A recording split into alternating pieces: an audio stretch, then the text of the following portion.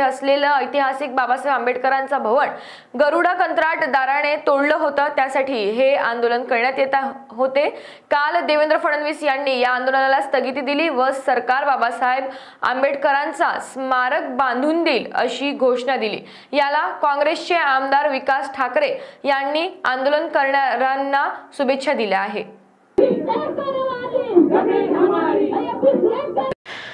नागपुरात दोनशे बहात्तर दिवसापासून आंबेडकरी जनतेचं आंदोलन सुरू होतं. अंबाझरी उद्यानमध्ये महानगरपालिकेनं बनवलेलं ऐतिहासिक बाबासाहेब आंबेडकरांचं भवन कुठलीही शासनाची परवानगी न घेता गरुडा कंपनीच्या कंत्राटदाराने तोडलं होतं.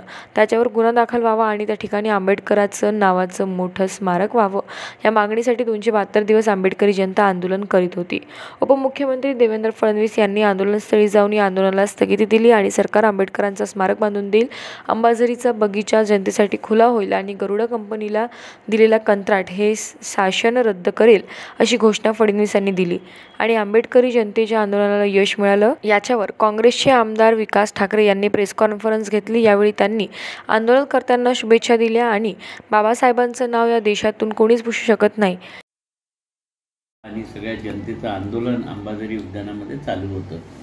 त्यांची मागणी होती की महानगरपालिकेने बनवलेलं ऐतिहासिक बाबासाहेब आंबेडकरांचं भवन कुठलीही शासनाची परवानगी न घेता गरुडा कंपनीच्या कंत्राटदाराने तोडलेलं होतं. त्याच्यावर गुन्हा दाखल व्हावा आणि त्या ठिकाणी आंबेडकरांचं नावाचं मोठा हॉल आणि स्मारक व्हावं.